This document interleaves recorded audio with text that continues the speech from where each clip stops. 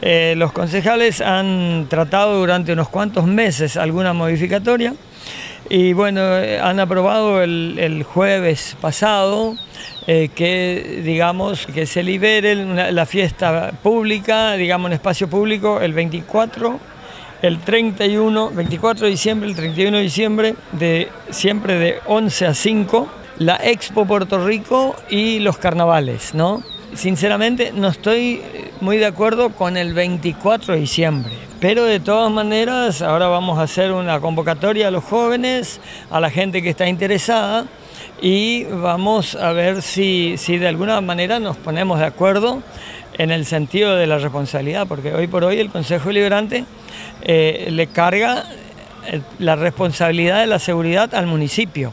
Hay que acordarse que para hacer una fiesta de esa necesitamos mínimamente 20 efectivos, que hoy por hoy son 25 mil pesos, porque tenemos que hacer la seguridad desde las 10 de la noche hasta las 6 de la mañana, hasta que está todo eh, limpio, digamos, hasta que no no haya más gente.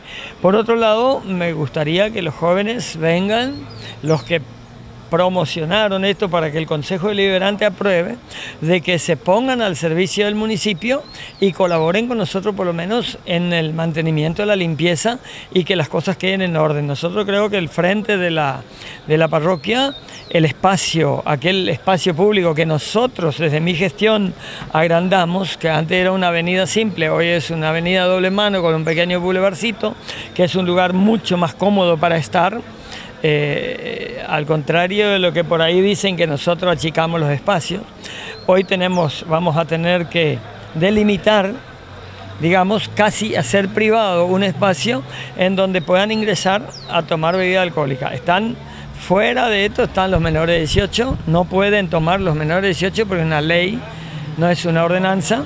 Y por otro lado queremos que cuiden las cosas, el arreglo navideño, donde un grupo de personas que trabajaron tanto, han hecho posible que tengamos un hermoso arreglo navideño, que no se rompa absolutamente nada de eso, ¿no? Y que dejen el lugar en el estado que han encontrado. Con respecto a esta ordenanza, si bien autoriza el consumo de alcohol en esas fechas, ¿se faculta al Ejecutivo a tomar la decisión al respecto? Claro, faculta al Ejecutivo a tomar la decisión si hacerla o no hacerla. Digamos, yo hoy estoy recibiendo oficialmente la ordenanza que se aprobó el jueves. Yo tengo 10 días para reglamentarla, para que salga antes. Y si yo no reglamento y fue aprobada por 5 votos, dentro de 10 días está reglamentada.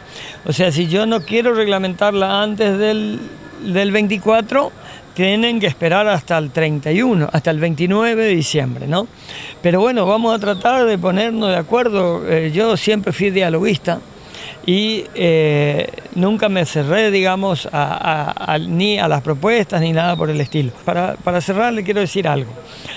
En la época en que se tomaba discriminadamente sobre la avenida San Martín, nosotros, a partir de que se prohibió a, esta parte, nosotros nos ahorramos aproximadamente 200 mil pesos por año en limpieza de sábado y domingo.